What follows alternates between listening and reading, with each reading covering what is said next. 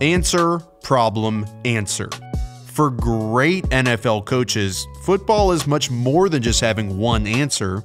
Average coaches think it's simply can you beat the defense, yes or no, but that is not true. The reality is good coaches present an answer, but when defenses combat that with a problem, they're toast.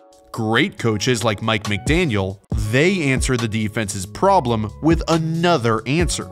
That's what we've seen with Tua and the Dolphins, where last year McDaniel transformed his career. Then week 14 happened, where Brandon Staley embarrassed them, holding Tua to a pathetic 10 of 28 for 145 yards on national television. But then week 1 rolls around, and boom, 466 yard explosion. Answer, problem, answer. Today, I'll show you McDaniel's first answer from last year, turning Tua into a quasi MVP candidate, then how Staley countered his answer by creating a problem, and then what McDaniel did in week one to answer that problem. Last year, Tua completely turned his career around, going from an average quarterback to a quarterback who led the NFL in yards per attempt, yards per completion, and QB rating. McDaniel identified Tua as an elite quick release and ability to anticipate open receivers, so he created an innovative scheme that accentuated those abilities and their offense exploded. They dominated the league with one specific play that they ran over and over. It all centered around a concept where Tyreek Hill or Jalen Waddle would start opposite the play, then jet motion to the other side to pick up a head of steam. He could go inside, outside, deep, Tua is at his best throwing in breakers over the middle, so they mostly ran these quick dig routes and just ate defenses alive. Teams who liked playing man coverage were basically screwed, because how are you going to guard Tyreek Hill running full speed at the snap right off the bat? And since you have to respect his speed going deep, a 3 yard cushion turns into way too much space to give him, and he can easily release wherever he wants. This is the route they use to destroy teams with over and over.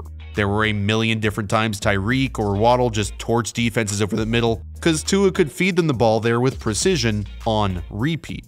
The concept is designed to read this inside seam type route first, and then whatever Tyreek is running after the motion second. So if the first read comes open, Tua hits him quick in case a team is playing zone or blitzing, which leaves that quick void in the defense. If teams drop back super heavy into zone coverage, they have this little slide route underneath that gets them a guaranteed 7 yards every time. By running this play or slight variations off this play, Tua turned into a superstar. Waddle and Tyreek became the most fearsome duo in the league. The Dolphins' offense became unbelievably explosive. These constant inbreakers with their lightning quick receivers were impossible to defend until Brandon Staley happens in week 14. But before we dive into how he countered McDaniel's answer with a problem, I first want to thank this season's sponsor, Prize Picks. Prize Picks is a daily fantasy sports site where you can pick players every day, any sports, almost any stat, and you can win big. Every game, every sport, every day, they have a projection number where you can decide to play more or less. If you know what's going to happen, you can win big. To play, you choose 2 to 6 players and select whether they go more or less than their projection. Prize Picks gives you deals on Taco Tuesday, like Jetta's total bumped all the way down to 61.5 yards from 94.5. And you can do these fun group entries where just one of Smith or Goddard have to score one touchdown. Prize Picks has super fast withdrawals. You can make entries in just a second. Everything is super easy. And the best part is, just by using my promo code Rollins, they'll match your first deposit up to $100. That's promo code Rollins. Right away in Week 14, 2022, Brandon Staley had Mike McDaniel's number. He took away all of their inbreakers, leading to Tua starting 3 of 15 for just 25 yards. With Tyreek starting from the bottom and the Chargers in a two high shell, which is important, they press the first receiver so he can't get that free release up the seam. And instead of chasing Tyreek with a man defender, they rotate a safety down so he can have leverage and a cushion. Tua's first read doesn't have any space to breathe whatsoever, and there are a couple of throws a game where you will see his arm strength limitations. It was clear Staley's game plan was centered around shutting down the middle of the field where this offense had dominated the rest of the league. He knows this is the only play Tua and McDaniels want, so check out Michael Davis, he's pressed on Tyreek Hill. But when Waddle motions across and Ja'Sir Taylor follows, Davis falls off of Tyreek at the last second so both he and Taylor can stay inside. The Chargers are daring Tua to throw anywhere but the place he wants to, and this strategy completely stalled out what McDaniel was trying to do. Staley kept throwing this coverage at him as they kept trying to get to their bread and butter, but they simply could not. They just did not have an answer when they needed it. When they motioned Tyreek back across, Taylor and Asante Samuel Jr. switch off, and look at how hard they're trying to stay inside leverage to keep the Dolphins from attacking over the middle. They're still trying to run these in breakers because that is what they do. They weren't yet good enough as an offense to have a lot of different answers, and they got exposed. This coverage also helped bring the backside safety into the picture since both the Dolphins' wide receivers were on one side. And so the area that the Fins wanted to attack was completely blanketed, and Staley had presented a problem for Mike McDaniel to chew on all offseason, and he did. Fast forward to week one, 466 yards and 36 points later, McDaniel, I'd say, answered the problem. Tyreek went off for 215, two touchdowns, cause of that answer, where instead of motioning him all the way across the field, which in last year's game gave the Chargers time to adjust, Tyreek lined up on the same side as the concept. They short motion him outside, and boom, he was gone without the Chargers being able to react. They still pressed the seam route, so that wasn't really getting open. But with less time to process, JC Jackson simply had no shot in hell to guard Tyreek with all this space, and with JC trying to get depth to match him deep just in case he did in fact burn him over the top, he had no chance of coming back inside to guard him. Despite the fact Staley had so much success with his game plan last year, he actually abandoned that plan once he saw that Miami had countered. However, his answer did not work. Last year, he blitzed Tua just six times and obviously had a lot of success by not. But when his answer wasn't working, he decided to blitz him 20 times and he got torched. When you blitz a fifth defender, it's really hard to keep a second safety deep because you run out of coverage defenders underneath. With just one high safety, there's not as much help on these deeper routes like they had last year, which leaves the Chargers one on one on Tyreek Hill and Jalen Waddle, a place nobody wants to be, especially with a defense whose corners aren't built to match up in man.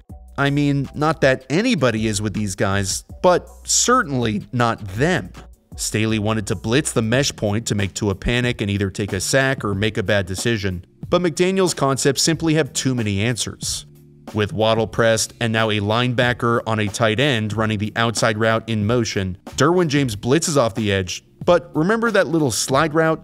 That acts as their hot in case they get a pressure like this one. A hot is just a quick route that is built into the concept, where if the quarterback suddenly gets an unexpected free runner, he can find his hot instead, and because of the design, the Dolphins pick up an explosive gain. McDaniel had Staley's number throughout the day. He had come up with the perfect answer before the game, but also came up with new answers during the game for when Staley presented new problems. Here, the Dolphins motioned Durham Smythe across the formation to try and get an easy completion to the flat. The idea is that with the Chargers in man coverage, it'll be super challenging for Eric Kendricks to wade through all this traffic. But watch Kendricks. He gives a push sign to the corners telling them to zone off and pounds his hand, which is their check for this situation. Tua expects this will get Smythe wide open, but he gets fooled. So, what does McDaniel do? He answers the problem in game. Now, when they motion Smythe across, Kendricks gives the same check right here, but now the Dolphins use Waddle to pull the coverage underneath, and Tua makes a brilliant throw to Tyreek up the seam. This episode is all about McDaniel today, but this game was also about Tua playing within, then breaking free from his scheme and winning outside of it for really the first time. This shows his elite anticipation, which is one of the major reasons why this offense goes like it does. But we also saw Tua extend plays with his legs and make plays out of structure. Let's give a quick three play example where the Chargers are trying to stop this drift concept, which is a quick inbreaker over the middle. By using their safety to rotate down into the window, they're effectively taking away the route Tua wants to throw, but he still does a nice job of running for the first down when it's not open. So, how do we counter that? Well, if you're going to roll these safeties down inside to stop the inbreakers, we've got Tyreek outside to win one on one, and you're now giving up your two high safety advantage by holding them both inside, Nice throw from Tua, not the hardest, but this next one is what's really impressive. On an absolutely crucial third and 10, the Chargers are running their safeties all around, but are ultimately bringing two of them down to try and trap the throw they know Tua wants to make. They drop Derwin James to the post, but have JT Woods and Alohi Gilman sit over the middle for the quick inbreaker. Knowing they're going to try and shut this down, McDaniel wisely puts Tyreek on an outside wheel in case Tua doesn't like it. McDaniel knows this will be run outside of the safety coverage since they're so worried about the middle. So when Tua sees it isn't open, he buys some time and on the run drops an absolute dime. Yes, McDaniel set up the play by being a step ahead of Staley, but Tua still had to make an incredibly difficult throw to win the game. He has taken the next step to win outside of McDaniel's perfectly crafted scheme, and at the same time, he will continue reaping the rewards throughout the remainder of his career. McDaniel developed an impressively innovative scheme that he unleashed on the league last year, which turned the Dolphins into a contender. However, when that scheme started to show some cracks, it was on him to innovate once again, something that is not easy to do. But here we are 466 yards later, and we're just getting started.